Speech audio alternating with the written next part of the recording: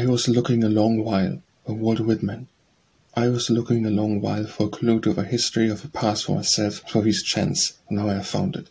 It is not in those pages fables in the libraries, where man never accept nor reject. It is no more in the legends than in all else. It is in the present, it is this earth today. It is in democracy, the purport and aim of all the past. It is in the life of one man or one woman today, the average man of today. It is in languages, social customs, literatures, arts.